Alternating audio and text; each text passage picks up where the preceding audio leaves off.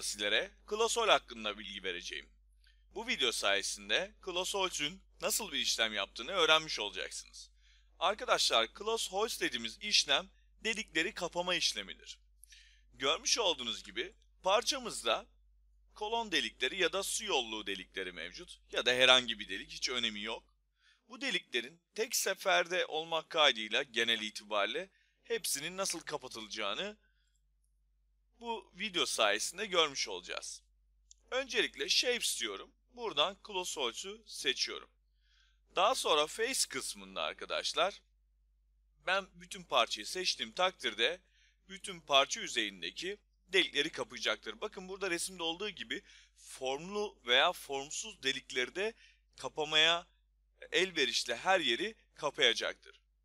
Burada Planner'da 24, Non-Planner'da 3 tane yüzey bulmuş. Bunları layer atacak arkadaşlar. Yani visibility kısmındaki şu layer kısmını oluşturacak. O zaman ben buna şuna e, düz delikler diyeyim. Hatta tam Türkçe karakter kullanayım sizin için.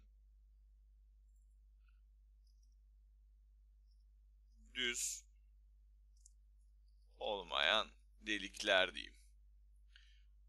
Apply dediğim anda arkadaşlar bakın buraya otomatik olarak atacaktır.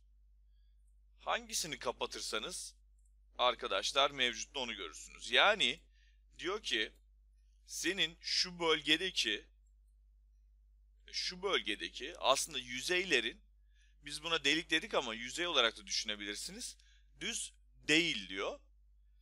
Peki ben bunu kapatıp düzleri açarsam da şurada delik asıl delik olanlar da bunlarmış. Bunlar düz yüzeyli delikler diyor. Yani form yok kesinlikle normal delik olarak tanımlamış. Yani arkadaşlar biz e, bu işlemde buraya kendimiz sağ klik layer yapmadan program otomatikman bizim için o layer'ları oluşturup buraya e, attı, oluşturdu ve bunun üzerinden yüzeyleri de bunların içine tanımlamış oldu. Bu sayede arkadaşlar e, Klosol ile beraber parça üzerindeki bütün deliklerinizi tek seferde kapayabilirsiniz. Böylelikle bu videomuzda deliklerin nasıl kapatılacağını görmüş olduk. Videomuzu seyrettiğin için teşekkür ederiz.